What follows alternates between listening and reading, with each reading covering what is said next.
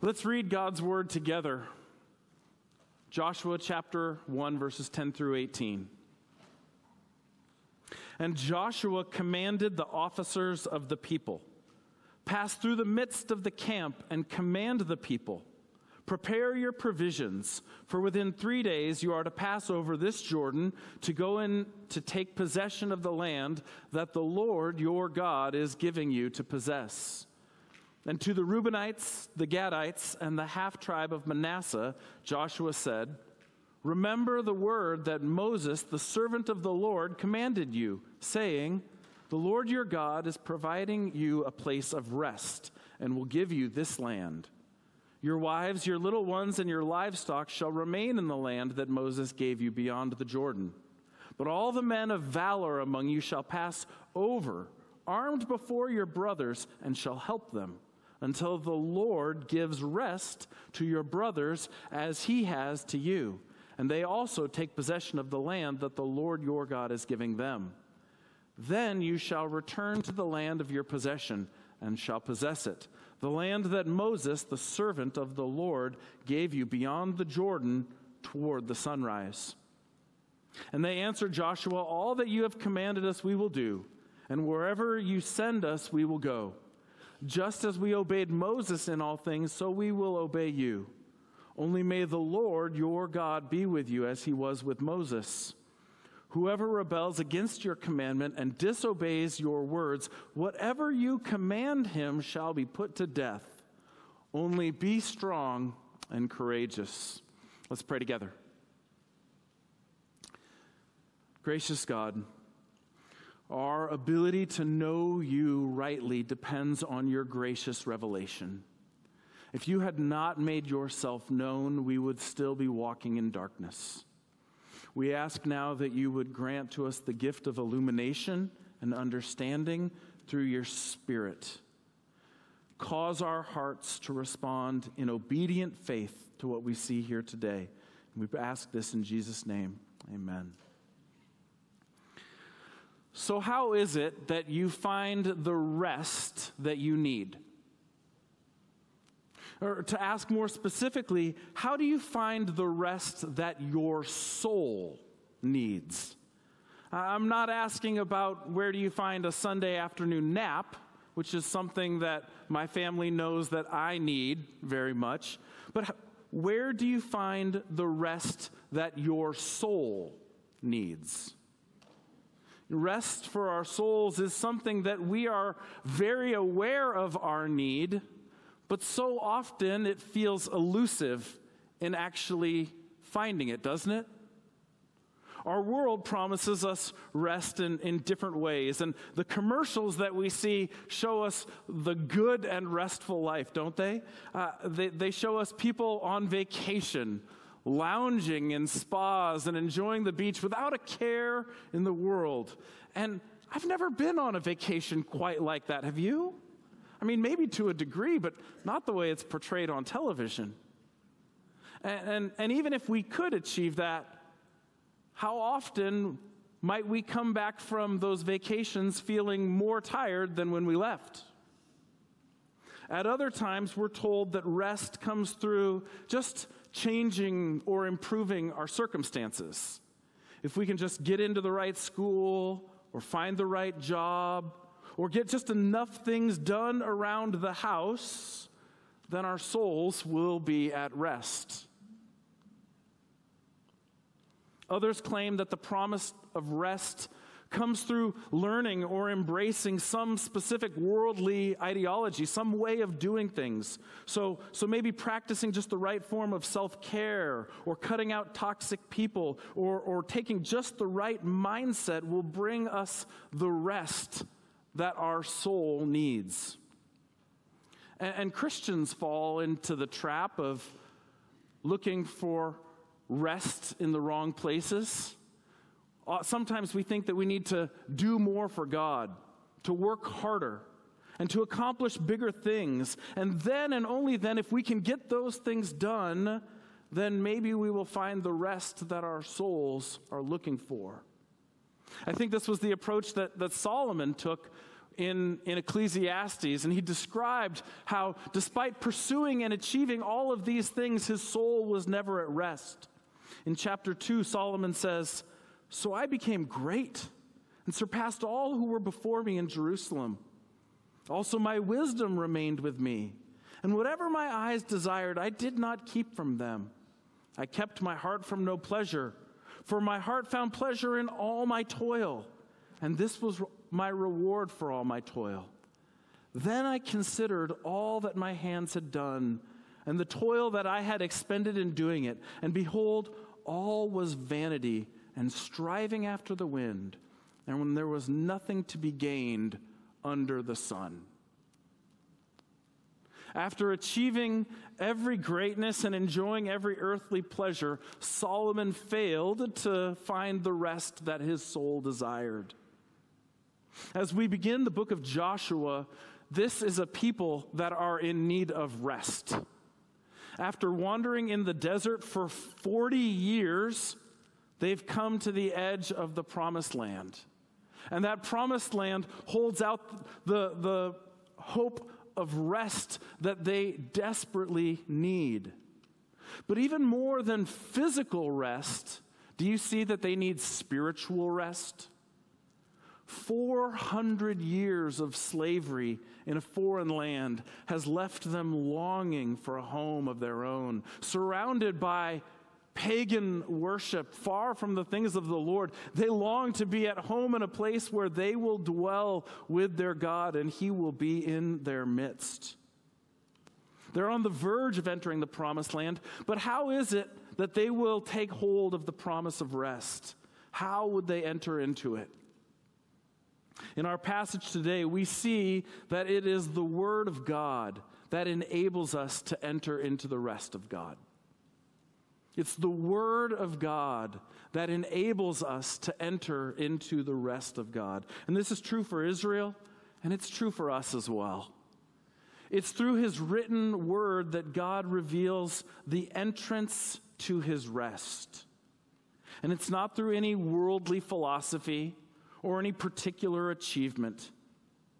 It's through the Lord Jesus who himself is the Word of God incarnate, and who has offered himself to us as the place where our souls find the rest that they so desperately need.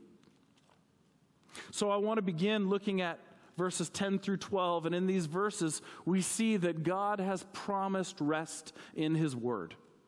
God has promised rest in his word, and here Joshua commands the people to prepare, to make preparations so that they can enter that rest. Last week, Pastor Ryan showed us that one of the key themes in Joshua is the fulfillment of God's promises. This book, Joshua, describes the way God initially fulfilled his promises to Abraham and Isaac and Jacob. And one key element of God's promise was land that would provide safety and security for his people. In short, the land symbolized rest. And his people had longed for that ever since the time that God had made those promises to Abraham. And while there had been elements of rest that they had experienced, they had never experienced it in the way that God had, had promised. And much of the book of Deuteronomy is dedicated to instructing the people how they are to live so that they may enter into God's rest. And within these instructions that God gave them throughout Deuteronomy, He said, Rest is coming.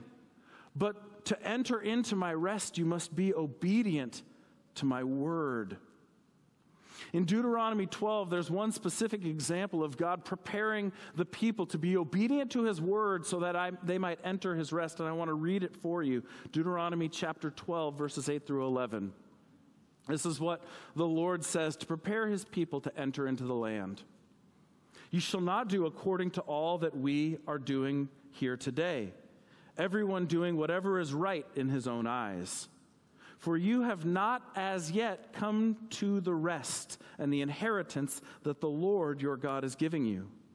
But when you go over the Jordan and live in the land that the Lord your God is giving you to inherit, and when he gives you rest from all your enemies around, so that you live in safety, then to the place that the Lord your God will choose to make his name dwell there, there you shall bring all that I command you your burnt offerings, your sacrifices, your tithes, and the contributions that you present, and all your finest vow offerings that you vow to the Lord. Specifically, the Lord is forbidding Israel to worship in whatever way they want. Instead, he says, You are to worship in accordance with what I will reveal to you so that you might enter into my rest. So, this promise of rest is, is reaffirmed, and they're longing to come into it.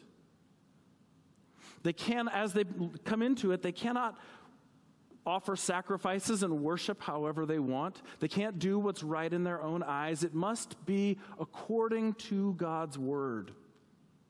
God promised rest in His Word, and the way that the people will enter into that rest is by walking in obedience. The opening of the book of Joshua sees him appointed by the Lord to replace Moses. And God established him as leader over all the people.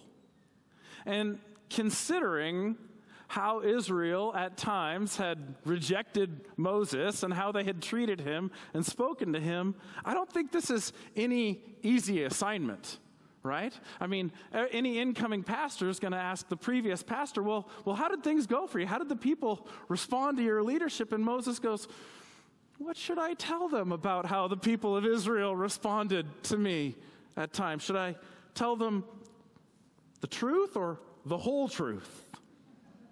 But Joshua knew, Joshua was there, and now he is walking in obedience and declaring God's word to this people. He's leading with the strength and courage that God has commanded him. So in verse 10, Joshua commands the officers of the people to prepare all the people to cross the Jordan River and enter the promised land. And he commands the officers specifically to pass through the people and instruct them to prepare provisions or food for their crossing. And that phrase, pass through, is one that's going to be repeated throughout the book. And in the original language, it's the same phrase as the command to, to cross over or to pass through in reference to the Jordan River. And the author is doing this because he wants our minds constantly to reflect on the miracle of God's deliverance. God is going to deliver them through the Jordan River, and he will repeat this phrase. And every time we see that phrase pass through, cross over, he wants us to be reminded of God's deliverance. The officers command the people to prepare provisions because they will cross over the Jordan in three days and take possession of the land. Now, Israel was delivered from Egypt, and when they were delivered, they passed through the waters of the Red Sea. And, and in a significant way of completion, they will also enter into the promised land by passing through the waters.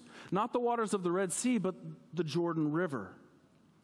And these two deliverances through water are bookends, the beginning and the end of their time in the wilderness. And God's deliverance of his people is powerfully displayed to this new generation that's coming into the promised land.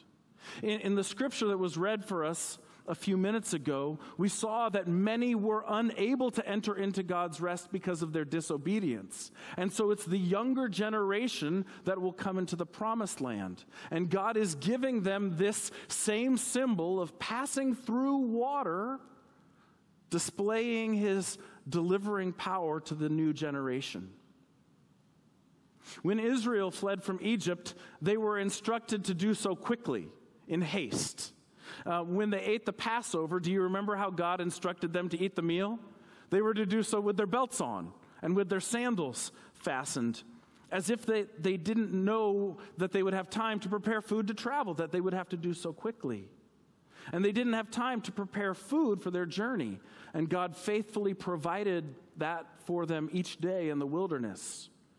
But entering the promised land we see here is going to be different. The daily provision of quail and manna has ceased, and they are to prepare the provisions necessary for the work that they are to do. So previously, they had fled before their enemies in haste, and now they are to prepare to conquer in obedience to the Lord. And it is the Lord, it is Yahweh Himself who will give him this land to possess. That's another phrase that's repeated throughout our passage the land that the Lord is giving you to possess. And verse 11 tells us that they are to cross over in three days or on the third day. And I don't want to go too far in, in, speculating on the significance of these events taking place on the third day. At the same time, I think we should acknowledge that these details are recorded for us for a purpose. That, that the author isn't just saying it happened on the third day and leaving it there without a reason for it. Thoughtful readers of the Old Testament will realize that God often redeems and saves his people on the third day. We see that pattern throughout the Old Testament. And here, on the third day, God's people are delivered through the waters and they come into his rest. God, they come into the rest that God promised them. And in like fashion, we know that it's on the third day that Jesus would conquer the grave and come into the inheritance that God had promised him and secure our inheritance. Even more so, these people are to pass through the waters of the Jordan River and then to go and fight a battle. And after Jesus is baptized in the Jordan River, what does he go out to do? He goes out into the wilderness where he makes war and defeats Satan at the beginning of his ministry. So I think that there are some important things to anticipate that this is communicating to us. God had assured his people that they would enter his rest. And when the Lord first made these promises to Abraham and to his offspring, they hadn't gone through any of the suffering, any of the wandering that they would go through. That was all far in the future. But before they could enter into God's rest, they first had to go through deep seasons, even centuries of suffering and of trials. 400 years of enslavement and 40 years of wandering. And yet, through all of this, do you know that God's promise never failed? Through all of the suffering, through all of the trials, his promise never ceased to be true. And, friends, those who are in Christ have an even greater confidence that his promise will never fail. Our inheritance and the rest that we look forward to have been secured by Christ. And this is a greater rest than anything that the world has to offer us. Uh, don't get me wrong, rest in this life is good, but it's always fleeting. And we always end up needing more of it. And it never compares to the eternal and unending rest that those who are in Christ will inherit. Be encouraged that before we enter into God's rest, we too also go through trials and suffering. And when we go through these, the Lord is with us. And we do not have to lose heart. We don't lose hope. God has promised us rest, and we take confidence now. We even rest now knowing that our eternal inheritance has been secured by Christ.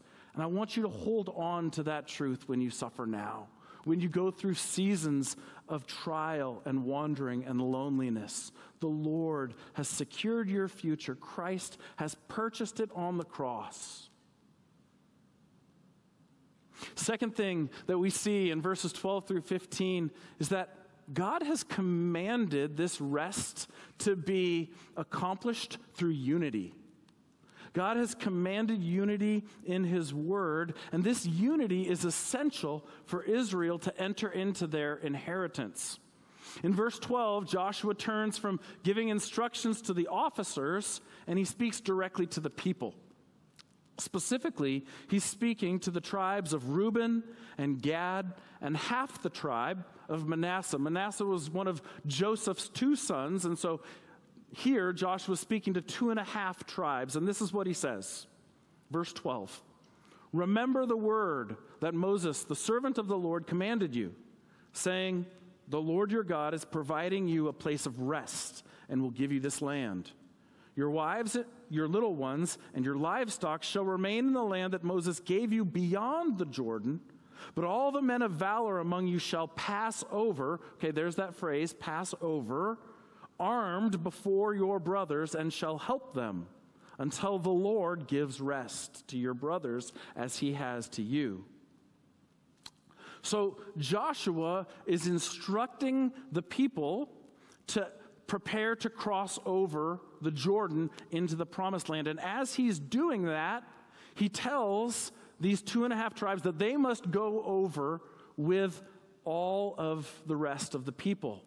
This is a little, a little issue that the outgoing administration has left for the incoming administration to handle right? The outgoing administration of Moses had made a promise to these two and a half tribes. And that issue or that concern is left to the incoming administration, right? Moses had guaranteed these two and a half tribes uh, to inherit land that was east of the Jordan, and that's the area that they're in now. These two and a half tribes are in the land that is theirs as an inheritance. And Joshua has to ensure that these two and a half tribes participate in the conquest on the other side of the Jordan. And there's this, this real possibility that these two and a half tribes say, you know what?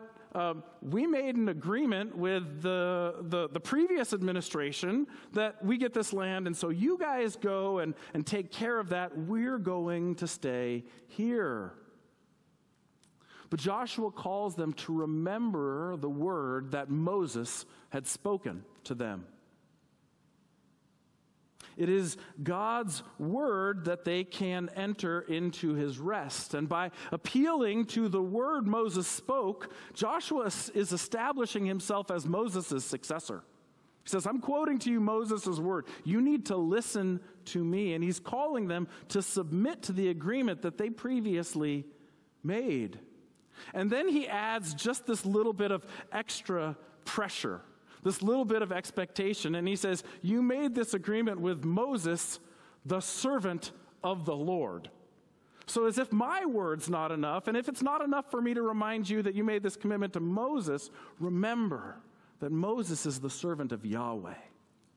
So the instruction that Moses gave is recorded in, in Numbers and again in, in Deuteronomy, and I want to see it briefly in, in Deuteronomy. It picks up following the achievement of a victory over, over a pagan king, and these two and a half tribes, the Reubenites, the Gadites, and the half tribe of Manasseh, come to Moses with a request. After the battle's been done, they say, We want this land. This land is especially good for, for livestock and, and we're tribes that keep livestock. We want this land. And this is what Moses says to them uh, Deuteronomy 3:18. And I commanded you at that time, saying, The Lord your God has given you this land to possess. Moses says, All right, I'm, the Lord's giving it to you to possess, but all your men of valor shall cross over armed before your brothers, the people of Israel. Only your wives and your little ones and your livestock shall remain in the cities that I have given you, until the Lord gives rest to your brothers as to you, and they occupy the land that the Lord your God gives them beyond the Jordan. Then each of you may return to his possession, which I have given. All right? So, so pay attention to a couple of things here in Moses' agreement with the people. Moses highlights that this land is a gift of God's grace.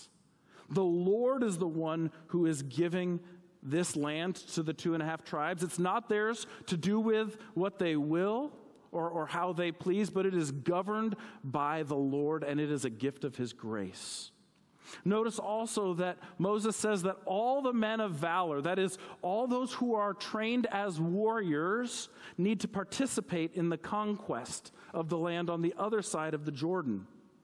The men are to go to war while their wives and their children remain in the land. And, and there's this emphasis that Moses says and Joshua repeats that all the men of valor are to go, right? So it's not a, a small, just a small select group, right? This isn't the elite. This is all the men of valor, all that have been trained as warriors. And verse 20 says that they are continue to continue in the conquest until the Lord gives rest. And here again is the promise of rest. The ultimate goal of the conquest of the land is that the people would rest in the presence of the Lord. But they have to continue in that work until it is completed.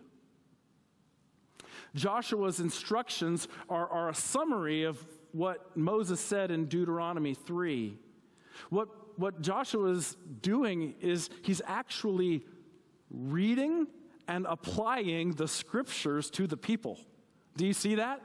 He's reminding them of the scriptures and he's applying it to them in their context. In a sense, Joshua's doing expositional preaching. He's applying the word of God to the people in a new context. He says that they are to continue until the Lord gives rest. And this is the first time that rest is specifically mentioned in Joshua. And, and it's really one of the key themes throughout the book. This rest means that they will be free from threats, that they will enjoy their inheritance, and most importantly, that the presence of God will dwell among them. God had been with them as they traveled throughout the wilderness, and He would continue to be with them and among them when they entered into the promised land. There's, there's two other things that are, that are happening here that, that, that we want to notice. First is that we see this biblical pattern that work precedes rest. All right? Work precedes rest. The work of conquest, of driving out the Canaanites, comes before their inheritance, and it comes before they enter their rest. And this was a pattern first begun with God in creation, wasn't it? That God labored for six days in creating the world and then rested. And, and that labor changed after the fall, that that labor came with toil and with, with suffering effort, but that pattern would continue of work and then rest. In Hebrews, we read that Jesus did the work of offering himself as a sacrifice for sins, and then he sat down at the right hand of his Father. Work precedes rest. Also, we see here that it is necessary for the people to be unified before they enter God's rest. They need to be unified so that they can enter into God's rest together. All of the tribes were to participate in the conquest. And once the conquest was completed, all of them could enter the rest. And, and this is a command that the Lord gave to the people in the Old Testament, but it's also the pattern that we see in the early church. Acts chapter 2 describes a church that's walking in unity. They were devoted to the apostles' teaching and to fellowship and to the breaking of bread and prayers. They were selling their possessions and distributing the proceeds to any who had need. And as they were unified, the Lord added to their number day by day those who were being saved. Joshua's command for these two and a half tribes to leave behind their own inheritance and join with their brothers actually sounds a lot like Paul's words in Philippians 2. Paul says, Have this same love, being in full accord and of one mind. There's unity. And then Paul goes on and says, Do nothing from selfish ambition or conceit, but in humility count others more significant than yourselves. Let each of you look not only to your own interests, but to the interests of others. Joshua is calling the two and a half tribes to not only look out for their own interests, their own inheritance, but to the interests of their brothers so that they can enter into God's rest. And, and so, to our church, we realize that to fulfill the commission that God has given us, we have to walk in unity. We have to be obedient to the word that God has commanded. And, and if we think that this call from Moses carries a lot of weight, and, and certainly it does, think about what Jesus said in regards to this topic, all right? Here's what Jesus prayed in his high priestly prayer. He says, I don't ask only for these only, but also for those who will believe in me through their word, that they may all be one, just as you, Father, are in me and I in you, that they also may be in us, so that, so that the world may believe that you have sent me. Jesus prays for those within his church to be united, just as he is united with the Father. And he links, all right, he links that unity to achieving the mission that he gave to the church. He says, so that the world may believe that you have sent me. There's a link between the unity of God's people and achieving the mission that he has given them. And so, church, we too must put to death the desires of our flesh that can separate us and prevent us from being united. It's the desires of the flesh that cause division amongst the body and can leave some feeling alienated and on the outside. We must count the needs of those around us as more significant than our own. And unity for the people of Israel and for us is not just the absence of conflict. The absence of conflict is a good thing. We should all rejoice in the absence of conflict. But there is more to unity than just the appearance of peace. It's actually being of one mind and sharing in the ministry together. So, my question is how can you strive to walk in unity with your brothers and sisters? Is there a relationship that you need to examine? Is there ministry available to you that you need to step into? Is there sin that needs to be repented of so that we can walk in unity? Might the Holy Spirit reveal to you ways in which you have prioritized your needs over the needs of others? And after church today, might you need to go to someone and say, I've prioritized my own needs over yours. Will you forgive me for that so that we can walk in greater unity and fellowship together? As we all look forward to the inheritance and to the rest that God has promised those in Christ, we must walk in unity. And I am thankful for the unity that God has given us in our church.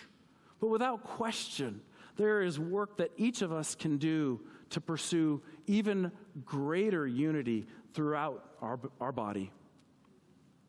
The last thing that we need to see in our passage is that God enables obedience to his word. That the things that God commands his people to do, he enables them to do. Verses 16 through 18 show us the response that these two and a half tribes had to Joshua's instruction. Based on previous interactions with Moses, again, maybe there's some uncertainty about how these direct commands will be received. But the tribes respond with enthusiasm. In verse 16, they answer Joshua and they say, All that you have commanded us, we will do. Wherever you send us, we will go. Just as we obeyed Moses in all things, so we will obey you. They state their intention to follow the Lord's commands that Joshua gave them, and they make three commitments, all right? They say, All that you command, we will do. They say, Where you send, we will go. And they say, As we obeyed Moses, we will obey you. And as far as promises of obedience go, can we agree these are pretty good, right? I mean, kids, all right, kids, listen to me for a second. If you are looking to impress your parents, right? If you're looking to show your parents that you are on a good track, try this the next time they give you some instructions. They, they say to you, son, go clean your room. And, and you say, where you send me, I'll go. right? Or, or your mom says to you, kids, stop fighting. And they say, What you command, mom, we will do. Or, or just say this to your parents, kids, and then actually do it and, and see what kind of reaction you get. I guarantee it, it'll be a good one, and they will be impressed that you listened as carefully as you did to Pastor Wescott's sermon. But along with the, the promise of obedience, they also declare that they will submit themselves to the penalty under the law if they are disobedient. So they commit to obedience, but they say, and we will place ourselves under the penalties of the law if we disobey. In verse 18, they say, Whoever rebels against your commandment and disobeys your words, whatever you command shall be put to death. That's a, that's a strong statement, it's a fearful one. Just as God had promised rest in Deuteronomy, he also promised judgment upon those who disregard holiness and those who fail to keep his covenant. God is a God of great mercy and, and, and unending loving kindness, but he is also a God of justice and judgment. And here the people acknowledge that sin is serious, it's not a trivial matter. Life and death depend on their obedience in crossing over and taking the land, and spiritual life and death are also at stake. So, in pledging their obedience to Joshua, they willingly submit to the penalties God described in his law. And it's interesting how, how Moses is the reference point both for the commands and the promises. Uh, Joshua referred to Moses giving the instructions, and the people point to Moses as an example of their eager obedience. And the people not only promise their obedience to Joshua, but they speak God's word back to him, and they offer him a blessing as their new leader. So, in this, there's a sense in which this entire conversation serves as the people's coronation of Joshua, or they're acknowledging him as God's appointed leader. They say to Joshua in verse 17, Only may the Lord your God be with you, as he was with Moses. Do you see that they're transferring their allegiance, their, their recognizing of God's appointed leader from Moses to Joshua? These words that they speak are an echo of what God said to Joshua earlier in chapter 1. He promised to be with Joshua just as he was with Moses, and that he would never leave him or forsake him.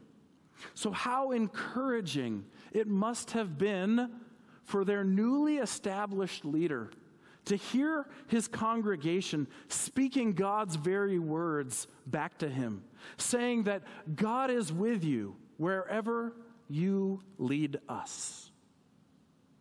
And they conclude their, their words to Joshua with this exhortation, right? They conclude by, by exhorting Joshua, saying, Only be strong and courageous. And again, this is the same instruction that God gave to Joshua earlier. Now it's being repeated by the people that he's leading. They say, You be strong and courageous as you lead us. And this strength and courage is in obedience to what God has commanded. He is to lead Israel without fear or, and without wavering. He is to do all that the Lord commanded in His word. And I think what's especially remarkable about this pledge from the two and a half tribes is that for the most part, they kept it.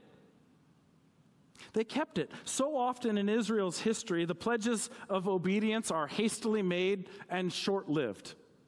But in this instance, they actually follow through as far as the conquest goes.